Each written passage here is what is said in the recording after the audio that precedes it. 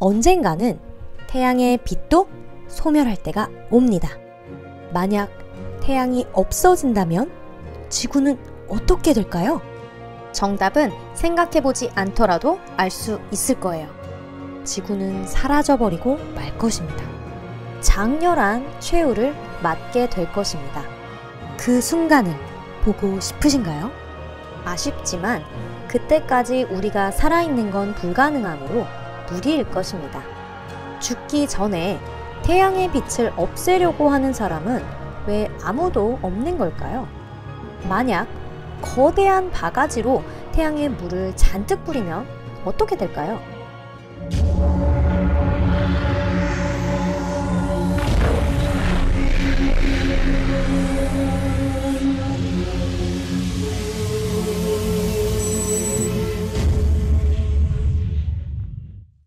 태양빛이 사라지게 되지 않을까요?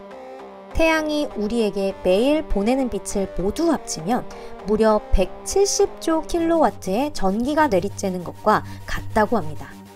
우리는 상상도 못할 만큼 많은 양의 전력입니다. 그렇지만 태양이 우주에 방출하고 있는 에너지와 비교하면 이는 아주 미미한 양에 불과합니다. 그렇지만 태양이 우주에 방출하고 있는 에너지와 비교하면 이는 아주 미미한 양에 불과합니다. 태양은 20억 배의 에너지를 방출하고 있습니다. 상대성 이론에 따르면 모든 에너지 소비는 질량에 비례해 감소한다고 합니다. 예를 들자면 태양은 비만인 사람이 러닝머신에서 뛰는 족족 체중 감량이 되는 것과 같은 것입니다. 거의 40억 톤이 나요. 간단히 말하자면 태양은 연소하면서 사라져 간다는 거죠. 더 정확히 말하자면 수소의 핵융합으로 에너지를 생산하고 있습니다. 만약 태양이 지구의 질량과 같았다면 5만 년은 더 연소할 수 있을 것입니다. 하지만 이게 만약 실제로 태양의 질량은 전체 태양계 질량의 99.86%입니다. 이는 매초 수소 약 7천억 톤을 태우면서 태양이 100억 년 동안 연소할 수 있을 정도로 많은 양입니다. 인류가 조사 중인 달의 지질이나 운석의 광물의 나이를 보면 우리는 100억 년 중 이미 반이나 지났다는 것을 알 수 있습니다. 우리 자손들은 이러한 무서운 대변역을 어떻게 피할 수 있을까요? 그 답을 찾을 때까지 현재 우리에게는 50억 년 이상의 시간이 있습니다. 그때가 되면 무슨 일이 일어날까요?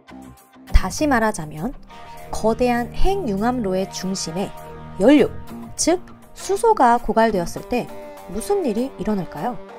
태양은 스스로 질량을 줄여나가면서 우주의 에너지를 방출하여 되돌아오지 않는 대량의 에너지를 생산하고 있습니다. 모든 것에는 끝이 있습니다.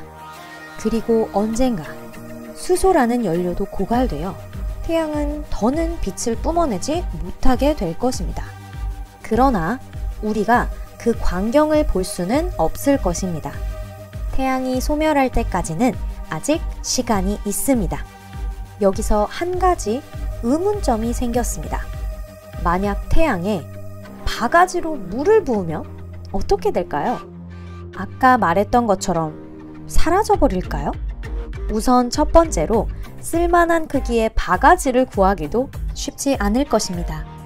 그렇지만 가령 우리에게 그런 바가지가 있고 물이 충분하고 이 모든 것을 태양계의 중심으로 옮길 수 있다면 어떻게 될까요? 이러한 의문점에 대한 답을 찾을 수 있는 사람은 특수 컴퓨터 프로그램을 가진 천체 물리학자 뿐일 것입니다.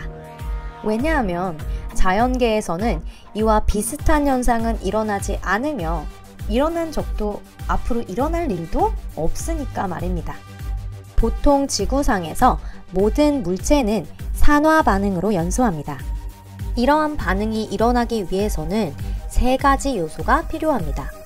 연료, 대기, 그리고 높은 온도. 만약 연소 중인 물체에 물을 부으면 표면에 물해층이 생성되어 불은 없어지고 말 것입니다. 하지만 우주에서는 모든 것이 전혀 다릅니다. 우주에는 대기가 없습니다. 태양에서의 핵융합 반응을 물로 멈추게 할 수는 없습니다. 아무리 많은 물이 있더라도 태양의 내부에서 핵융합이 진행되고 있는 한 없앨 수 없는 것입니다. 보통 별은 산소를 생산하기 전에 대량의 탄소를 내뿜습니다. 바가지 안의 물에는 산소와 수소밖에 없습니다. 간단히 말하자면 태양은 물을 태울 수 있다는 것입니다. 태양에 거대한 바가지로 물을 퍼붓는다면 태양광을 없앨 수 있을까요? 아니요. 태양은 다른 형태의 핵융합을 하면서 다시 타오를 것입니다. 방사 스펙트럼 안에서 자외선 광파가 커지고 그 밝기는 현재 태양의 6배를 웃돌 것입니다. 물은 89% 수소로 이루어져 있습니다.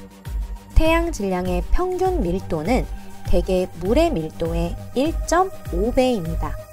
그래서 태양과 같은 부피의 물은 태양의 질량의 0.71배의 질량을 가집니다.